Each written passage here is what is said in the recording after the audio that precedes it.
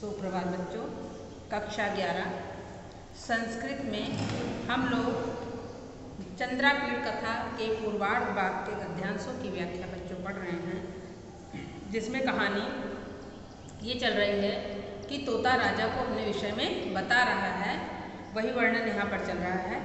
आगे अपनी किताब को खोल करके आगे के गद्यांशों के देखिए कथा आगे बढ़ रही है। अंतरिते च सबर सेनापतौ सह जीर्ण शबर पिबन्निम अस्माकम आयुषिम तम वनस्पति सुचिरम आमूलाद अपश्यत। अंतरिते माने होता है ओझल होने पर। सबर सेनापति च सेनापति और उस सबर सेनापति के ओझल हो जाने पर जीर्ण सबरा माने जो बूढ़ा वो था सेनापति पिबन्निम अस्माकम आयुष्य यानी पिबन्नी माने पीते हुए के समान। ऐसा लगता था कि जानो, मानो मुझे निगल जाएगा। ऐसे पीते हुए के समान आयुष्य माने आयु में, तम वनस्पति और उस वृक्ष को भी सुचिरम सुचिरम माने बहुत देर तक आमूलात अपश्यत, जड़ तक देखा। अथम आरूढ़ शाखांतरेभ्य कोटरेभ्यश्च सुख सावकान गृहीत्वा अपगतां सुषष्ट कृत्वा छितौ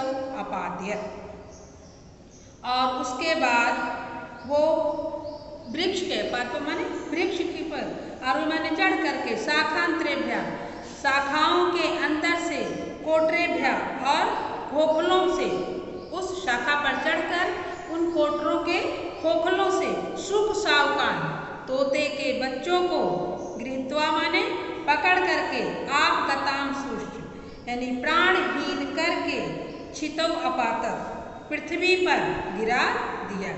तातस्तु तम महानतम प्राण हरणम उपल्वम आलोक्य।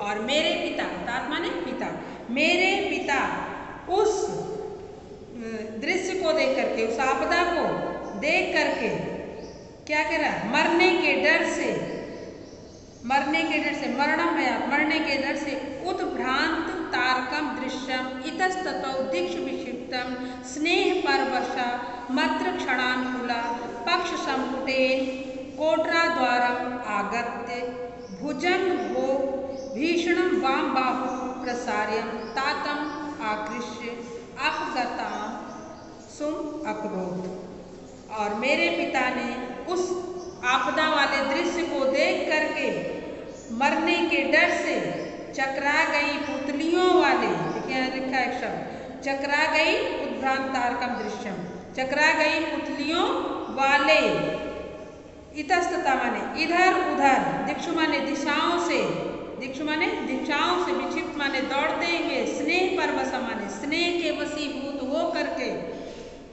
मत्र क्षणाम कुला मेरी रक्षा से व्याकुल पंच सम, पक्ष संपुटे अपने पंखों के तह से कोटर द्वारा आगत्य। कहाँ पर आ गए? मुझे ढक करके उस कोटर के द्वार पर आ करके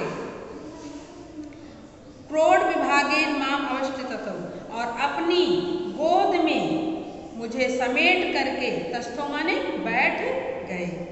आसावपि पापा क्रमेण शाखांतरे संचरमाण कोटरम द्वारमागत। भुजंग भोग भीषणम वाम बाहु प्रसारी तामम आकृष्य अपकता सोम अक्रोध।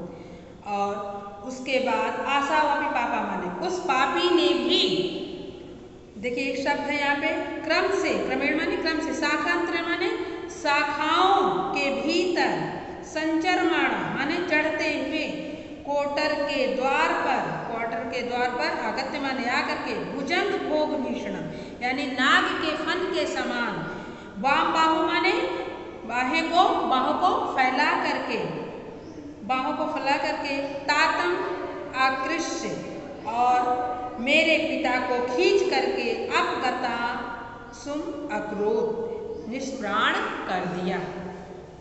मातु स्व अल्पवता भय सम संबित अंडिता गत्वात्, सा अवशेषत्वात् आयुषा पक्ष संपुट अंतर्गतम न लक्ष्य देखिए, और माँ तक और मैं जो था, कैसा था? अवनी तले तू स्वागत और मेरी आयु छोटी होने के कारण, मुझे छोटा होने के कारण, वो क्या हो गया? भय संडिता यानी डर से, अंगों में सिमट जाने के कारण शाश्वता आयुषा और आयु के शेष बचने के कारण पच संपुट अंतर्गताओं और उस पंख के अंदर छुपे होने के कारण और ना लक्षित माने नहीं देख पाया। उपरतम च तातम अवनी तले शिथिल शिरोधरम अधोमुखम अभुच्चत। और उसके बाद शिथिल गर्दन वाले को औधा मुख करके फेंक दिया। मेरे पिता को मार करके पृथ्वी पर फेंक दिया। अहम अहमपि तत्चरणांतराले नीलीना तेने सह अपतत और मैं भी कुछ पुण्य शेष रह जाने के कारण मैं भी उनके साथ ही पृथ्वी पर गिर अब यहाँ तक की कहानी आपको मैंने आज पढ़ाया है, आगे की कथा में आगे पढ़ाऊँगी इसको आप पढ़ करके